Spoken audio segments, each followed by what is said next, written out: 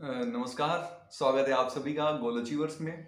मैं आपके साथ कपिल तनवर, और आप सभी मुझे जानते ही होंगे, और नहीं जानते हो तो यहाँ पे आपको मैं कुछ बता देता हूँ। मैं एक मीडिया पर्सन हूँ एसोसिएट एनसीसी ऑफिसर हूँ केयर टेकर हूँ। तो मुझे काफ़ी समय हो गया है यूट्यूब पे वीडियो बनाते हुए। तो अगर आप हमारे चैनल पर नए आए हैं तो आप हमारे पुराने वीडियोस जाके चेक कर लें। हमारी पूरी टीम आपके लिए मेहनत करती है। Colonel Ramautar Singh ji, captain Nare Singh Shekhawat ji. Physical के लाइव वीडियोस हमने डाल रखे हैं मेडिकल के लाइव वीडियोस डाल रखे हैं। डिस्क्रिप्शन में जाएँ और उन वीडियो का फ़ायदा उठाएँ, क्योंकि भर्ती में आपको काफ़ी मदद करेंगे। तो चलो गुड न्यूज़ के बारे में आपसे डिस्कस कर लेते हैं। चलो, एक जो मेरा पहले वाला वीडियो आया था, उसके नीचे बच्चों के कमेंट आए थे, उसके बारे में बता देता हूँ कि कई बच्चों ने बोले कि, सर, मोटे हो गए हो, थोड़े से स्मार्ट हो गए हो, या थैंक यू और मुझे काफ़ी अच्छा लगा। तो चलो, इस वीडियो में हम बात कर रहे हैं, वैसे ही सेना भर्ती के बारे में अपडेट जो हम रेगुलरली डिस्कस करते हैं तो जान लेते हैं। तो यहाँ पे एक न्यूज़ वायरल हो रही है, जो कि राजस्थान के सांसद ने इंडियन आर्मी को एक एप्लीकेशन लिखा था, एक लेटर सौंपा था, वैसे ही महाराष्ट्र के एक सांसद ने लेटर सौंपा है।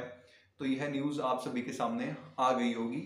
एक चार्ट वायरल हो रहा होगा, उसका अपडेट आप सभी के पास आ गया होगा। इस चार्ट की पुष्टि हम इस प्रकार करना चाहेंगे कि सच में आपको एज में छूट दी जाएगी। जैसे कि इसमें बात की गई है कि जो बच्चे जीडी के लिए थे जीडी के लिए 21 एज लिमिट होती है 21 ईयर्स तक आप जीडी की देख सकते हैं तो ये 23 ईयर्स तक आपको एज में रिलैक्सेशन मिलेगा। जैसे कि इस नोटिफिकेशन में आप सभी को बता रखा है, इस लेटर में आप सभी को बता रखा है। और जो ट्रेडमैन की जो भर्ती होती है, उसके लिए आप 25 ईयर्स तक देख सकते हो मीन्स दो साल को आपको छूट दी जाएगी। क्या ये सच में मिल रही है? तो पूरी तरह जानकारी हम जान लेते हैं इस वीडियो में, जो कि सांसद ने एक लेटर दिया है राजस्थान के और महाराष्ट्र के। ये बात यहाँ पे कंफर्म होती है। और ये जो लेटर आप देख पा रहे हैं, जो कि इंडियन आर्मी ने सांसदों को दिया है, ये बात भी कंफर्म है। ये चार्ट जो है रियल है। तो अब बात निकल के आती है। सर, अब तो मज़े मज़े हो गए, मौज हो गई। अब तो भर्ती हम दो साल तक देख सकते हैं।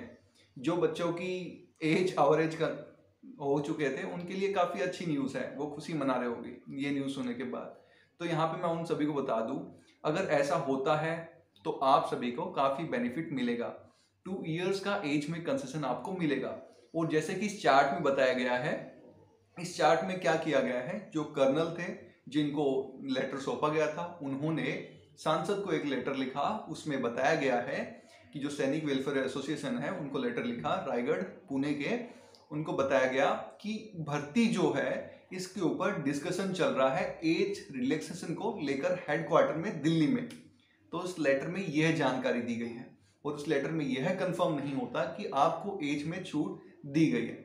तो मिलेगी जो भर्ती आने वाली है महाराष्ट्र की। तो यह क्लियर अभी तक नहीं हुआ है। जब छूट मिलेगी, तब ही क्लियर होगा। तो आप सभी को मेरी बात समझ में आ गई होगी। हर एक पॉइंट समझना काफ़ी डिफ़िकल्ट होता है। तो अगर ऐसा होता है तो काफ़ी बच्चों को यहाँ पे बेनिफिट मिलेगा। और वाराणसी की भर्ती कब आएगी, इसका जो अपडेट है, वो जल्दी ही आ जाना चाहिए। पर उससे पहले ही एक बुरा अपडेट आ गया, हिमाचल की भर्ती पोस्टपोन हो गई। पहले वाला मेरा वीडियो देखा होगा, अभी जो अपलोड हुआ है तो पूरा देख लें। और भर्ती आ रही है पोस्टपोन हो रही है, क्या हो रहा है, क्या नहीं हो रहा है, वो हमें समझ में नहीं आ रहा है। तो हर किसी को कन्फ्यूज़न है। तो जैसे ही कोई अपडेट आता है तो हम आपके साथ शेयर करेंगे। तो जिन बच्चों का रिटर्न एग्ज़ाम अभी पेंडिंग है, उनके लिए भी जो ज़रूर जानकारी दे दूँ, आपको ज़्यादा समय नहीं दिया जाएगा 20 से 25 दिनों का ही समय दिया जाएगा। एक शॉर्ट नोटिस में आपको बताया जाएगा कि आपका रिटर्न एग्ज़ाम करा के लिया जाएगा, फलानी तारीख को लगा करा के लिया जाएगा। तो पूरी जानकारी आपको समझ में आ गई होगी।